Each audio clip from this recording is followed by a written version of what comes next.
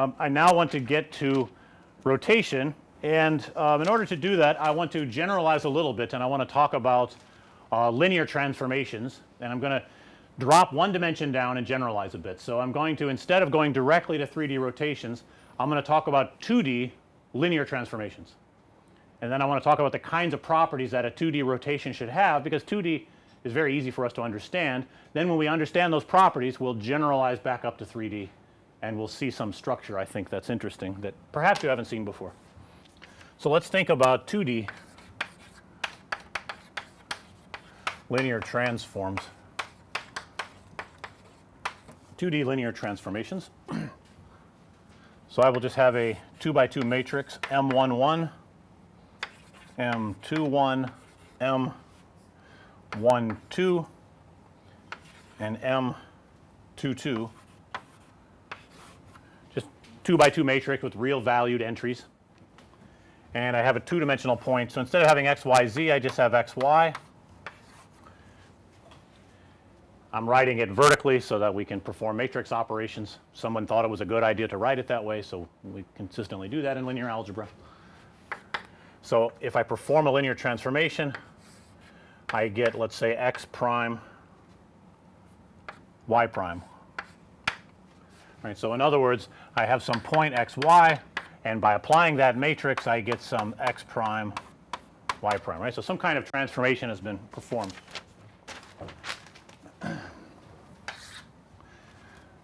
Again, we're just in two dimensions here. Let's um, let's write a 2D coordinate system, Cartesian coordinate system. So I have x axis, y axis, and I want to think about simplest case. This is the point 1 comma 0 right, here, and this is the point 0 comma 1. These are the standard bases that we use for Cartesian coordinates all the time and I want to think about what happens to these when we perform our transformation. So, we have uh, M11, M12, M21, M22.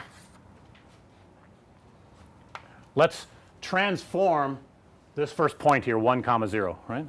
So, if we transform that 1 0 so I put the point here I look at what we get when we perform the multiplication and we get M11 M21 right. So, I perform this multiplication and it drops off the second column all I get remaining here is the first column by doing this operation. So, very interesting. So, it looks like when I perform this linear transformation it tells me exactly what happens to the x coordinate axis right.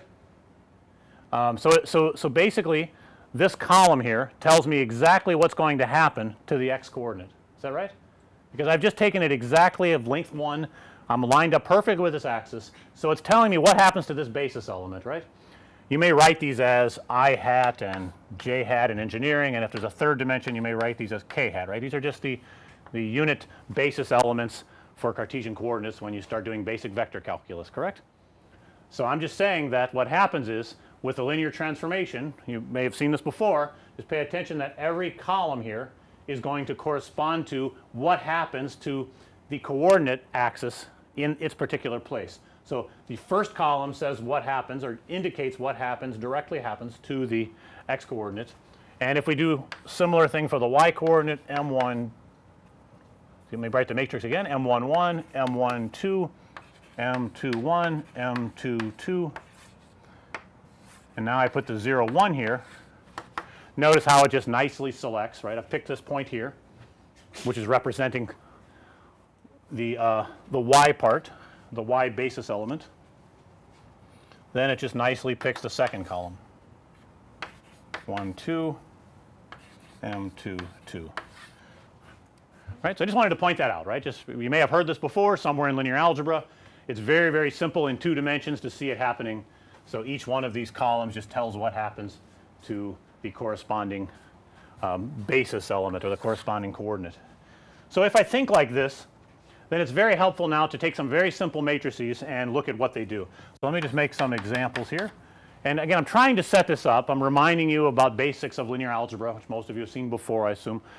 but I'm also going to connect it a little bit later to something more complicated. So, so please bear with me if this is painfully simple. So, so but um, I, I want it to be very clear and then we'll get to more complicated things. So if my matrix now is this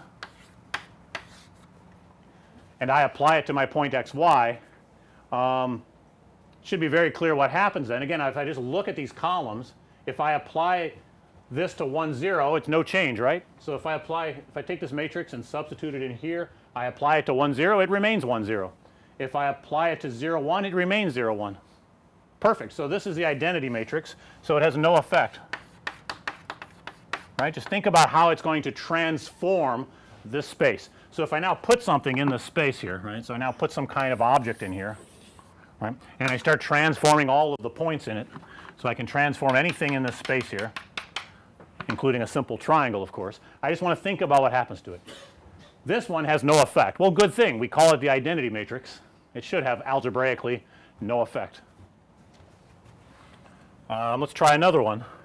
So what if I have 2, 0, 0, 2? Right? What will it do in that case?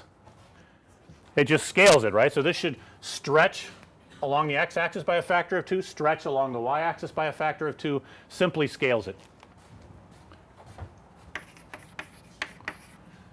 If I pick 1 half instead, it will shrink it, right? So it's a scaling of some kind. And of course, I could put different numbers for different axes, and then I'll get different kinds of stretchings, right? I can stretch it out along one axis or another.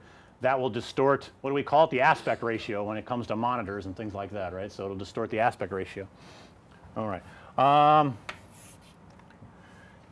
negative 1, 0, 0, 1. So what will that give us? Right? So it's a kind of flip, right? So it gives us a mirror image, let's say, right? It's an informal way to say it. So we get a mirror image.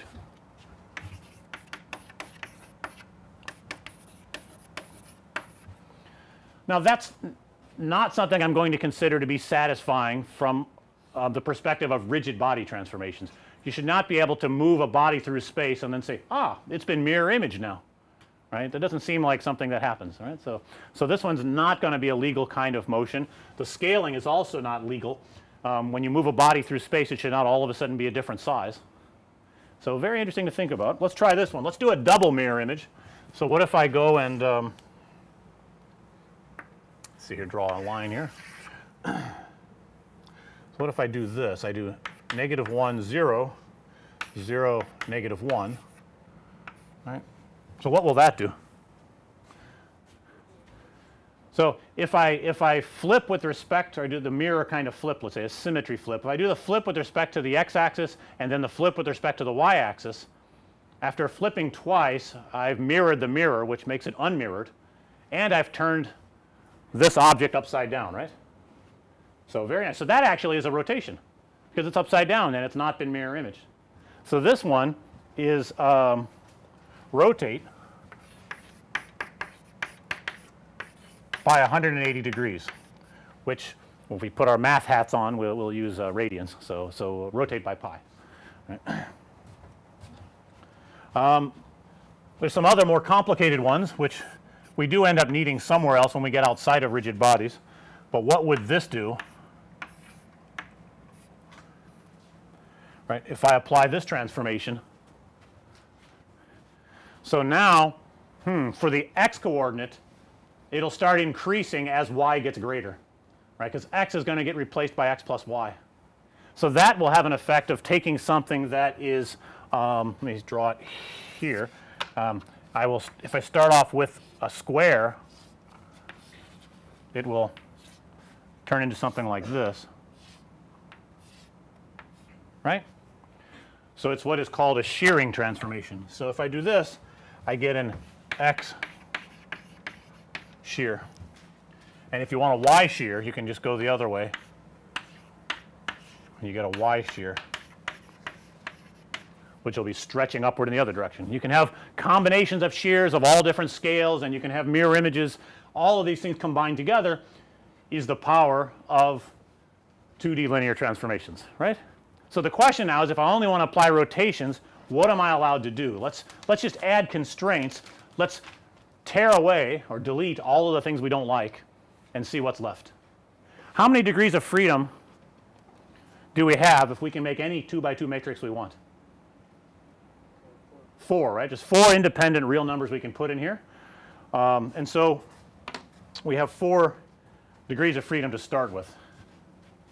So I want to think about it from the elimination perspective. I want to eliminate degrees of freedom that I don't want to allow happening and eliminate anything else I might need to beyond that so that I'm satisfied that what I'm left with is just rotations. All right. So for rotations, again, we're still in 2D. Um, what am I not allowed to have? So I want um, no, Think it's very informal, no stretching of axes. In other words, I want to preserve scale.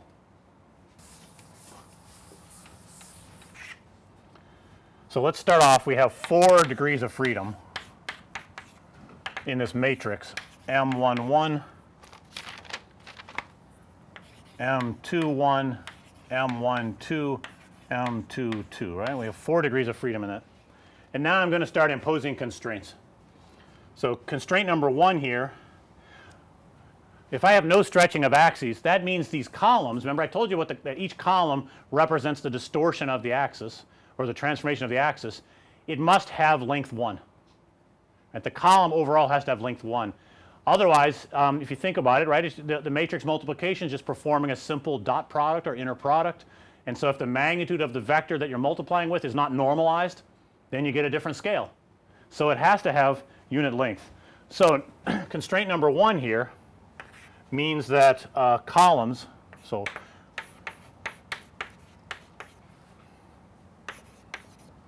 have length 1. So in other words, when I have this matrix, I look at the columns and I must have the case that um, m11 squared plus m21 squared equals 1 right? So I get this constraint. And I must have this constraint here very similarly m12 squared plus m22 squared equals 1.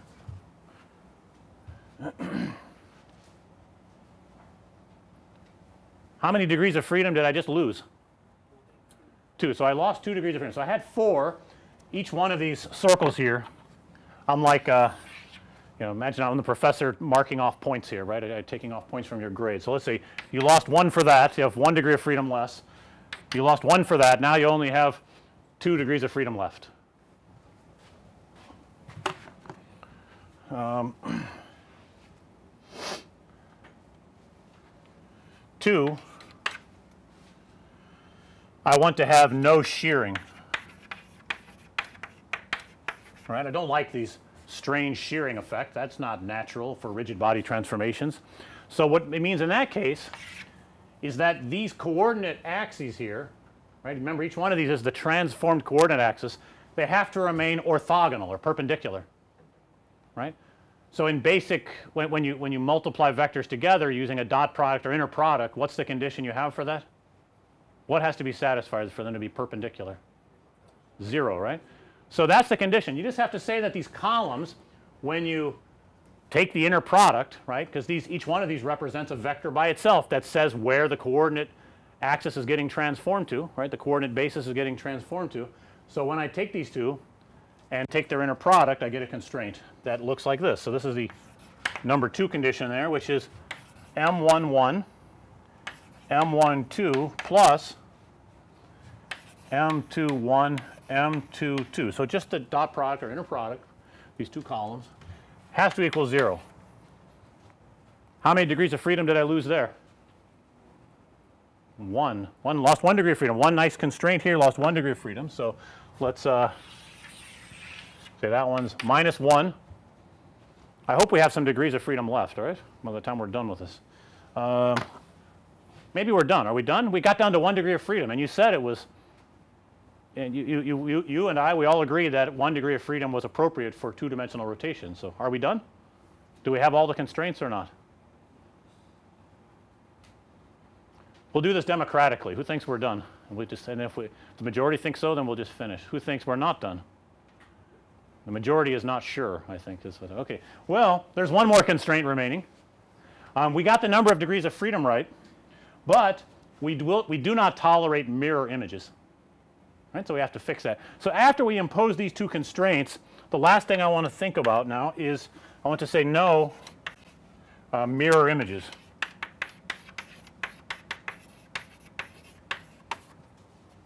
Um, the formal way to say that in mathematics is you need to preserve orientation. So no orientation changing. If you don't pay attention to that, then your left-handed coordinate system can become right-handed. All kinds of bad things can happen, right? So we need to preserve orientation. All right, so no mirror images. Um, after we perform these two constraints, it, it turns out that there's not very many options left for the determinant of that matrix. It can only be 1 or minus 1. So it ends up being a beautiful detector of whether or not someone's trying to perform a mirror image, right, by, by making that matrix. So the only thing you have to have happen for the remaining case, well, I'll write it over here, I guess. To implement that is determinant of the matrix put the whole matrix in. I'm just writing dots, but I should put the m's in there. Um, needs to be equal to 1, not negative 1. Those are the only two possibilities left. How many degrees of freedom did I lose there? Zero. I didn't lose any degrees of freedom. So what's interesting is that what remains is going to be a circle of possible two-dimensional rotations. Before I did constraint number 3, I actually had two circles. There's a circle of the, the standard rotations and then there's a circle of mirror imaged rotations. And so this last constraint just eliminates the bad circle, the circle that does not correspond to rigid bodies.